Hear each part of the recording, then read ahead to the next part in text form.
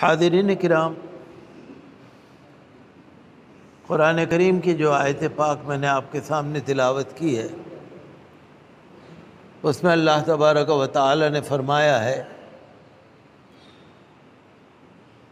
मा इंदकुम यनफदु, जो कुछ तुम्हारे पास है वो ख़त्म हो जाएगा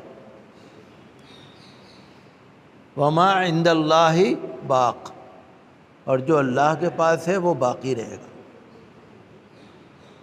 वल नजजियन सबर अजरहम, और अलबत्ता हम ज़रूर ज़रूर जजा देंगे। सवाब देंगे, जजा देंगे, अजर देंगे।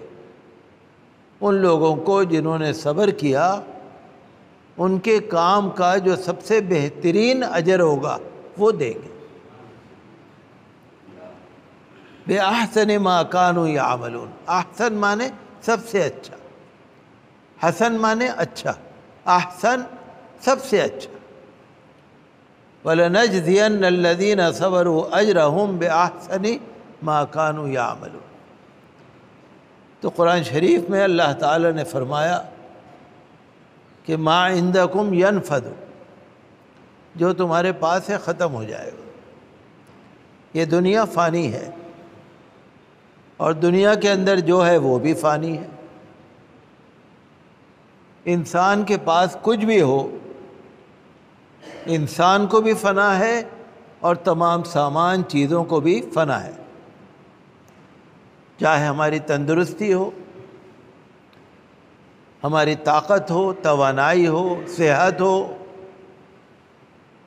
या रुपया पैसा हो, या मकान हो, या कारखाना हो या दुकान हो, या रिश्तेदारियाँ हो, या मोहब्बत हो, या अदावत हो, कुछ भी हो, दुनिया का दुनिया में ही रह जाएगा। हाँ जो अल्लाह के पास है, वो बाकी है। वो नहीं ख़त्म होगा। अल्लाह की रहमत जो अल्लाह ताला सवाब अता करता है, जो अल्लाह ताला अजर देगा, जो उसका फ़ज़ल होगा, उसका करम होगा, जो कुछ अल्लाह की तरफ़ से है, जो अल्लाह के पास है, वो बाकी रहेगा। तो अल्लाह ताला ने ये हमें एक तरह से तंबी फरमाई है कि इसके ऊपर तुम गौर करो, सोचो। क्योंकि इंसान दुनिया में रहता है, वो दुनिया के लिए कोशिश करता है। हालाँकि दुनिया में रह के कोशिश करनी चाहिए आखिरत के लिए। अल्लाह ताला ने हमें जहाँ भेजा है, अमल के लिए, अपनी ज़िंदगी बनाने के लिए, आखिरत वाली ज़िंदगी। हम लोग बनाने लगते हैं दुनिया वाली ज़िंदगी। अल्लाह ताला ने हमें भेजा है आखिरत वाली ज़िंदगी बनाने के लिए।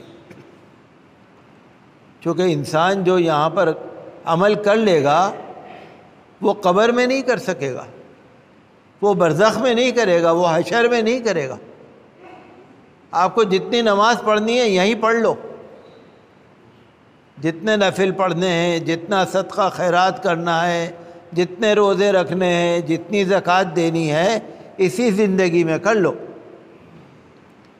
और जो आने वाली ज़िंदगी है, कब्र वाली या बरज़ख वाली, उसमें अमल नहीं है। तो ये ज़िंदगी जो है ना, हमारी बहुत तेज़ी से गुज़र रही है। जैसे आप देखते हैं, हुजूर ने फरमाया कि बड़ी तेज़ी से वक्त गुजरेगा। साल ऐसे गुजर जाएगा जैसे महीना महीना ऐसे गुजर जाएगा जैसे हफ़्ता। हफ़्ता ऐसे गुजर जाएगा जैसे एक दिन। एक दिन ऐसे गुजर जाएगा जैसे एक घंटा। और एक घंटा ऐसे गुजर जाएगा जैसे एक चिंगारी। लाइटर की चिंगारी। जो गैस जलाता है लाइटर, आपने उसको लाइटर को दबाया, एक चिंगारी निकली। बस उतना सा, एक घंटा उतना रह जाएगा। हुजूर ने फरमाया, यानी तेज़ी से वक्त गुजर रहा है। काम आपको बहुत करना है अभी। दीन का काम बहुत करना है। अमल बहुत करना है। अल्लाह ताला ने जो हमारे ऊपर जिम्मेदारियाँ डाली हैं, वो बहुत हैं। टाइम कम है। तो ये एक तरह से झजोड़ा है अल्लाह ताला ने कि जो तुम दुनिया के चक्कर में रह रहे हो, ये तो बेकार है। अल्लाह के यहाँ भेज दो। हजूर ने फरमाया, जो इंसान खा लेता है वो उसका। जो इंसान पहन लेता है वो भी उसका। जो इंसान अपने हाथों से अल्लाह की राह में खर्च कर देता है, वो भी उसका। और जो इंसान पैसे, दौलत जमा करके रखता है, वो तो बेकार में उसकी हिफाजत कर रहा है, वो तो वारिसों का माल है, इसका कुछ नहीं है उसमें। यह हुजूर सल्लल्लाहु अलैहि वसल्लम ने समझाया। जैसे किसी को कहीं बाहर जाना होता है ना तैयारी करता है।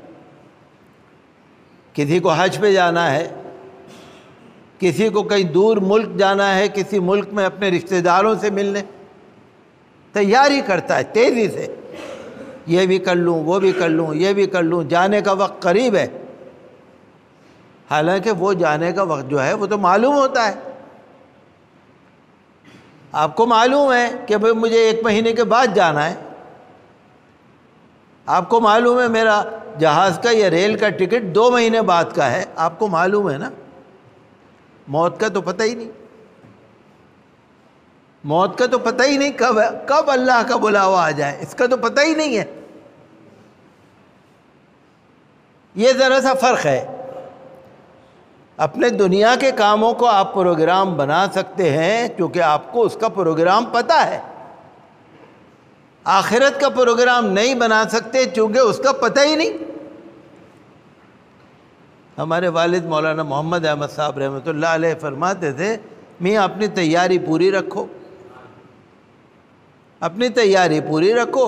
जब अल्लाह की तरफ़ से बुलावा आ जाए तो पछताना ना पड़े, मैंने ये काम नहीं करा, मैंने ये काम नहीं करा। तैयारी पूरी रखो। तो हकीकत यह है कि इंसान जो है ना, वो गफलत में है। अल्लाह ताला ने फरमाया कि हम तो बहुत बड़ा अजर देंगे, बहुत अजर देंगे और बरा, ज़रूर देंगे। वाला न जजी सबर। आप अगर अरबी ज़बान का कायदा जानते होते तो आपको पता होता कि अल्लाह ने कितनी ताक़ीद से कहा है। एक तो यह है कि हम देंगे। अल्लाह का वादा सच्चा है इन अल्लाहलफ़ुलमियाद अल्लाह का वादा कभी ख़िलाफ़ नहीं होता। अल्लाह ताला ने फरमाया, हम देंगे, हमें यकीन है, देगा। अल्लाह ने फरमाया, हम ज़रूर देंगे। यह और ताकीद हो गई। फिर फरमाया अलबत् ज़रूर भी ज़रूर हम देंगे। ये और ताकीद, दर ताकीद हो गई। और हम देंगे बेहतरीन अजर। बेहतरीन अजर देंगे। अगर इंसान की इतनी सी भी नेकी है ना कोई, एक पैसे के बराबर भी नेकी है ना तो अल्लाह ताला उसको सवाब एक पैसे के बराबर नहीं देगा। अल्लाह ताला उसका अजर बहुत बेहतरीन अजर अता फरमाएगा।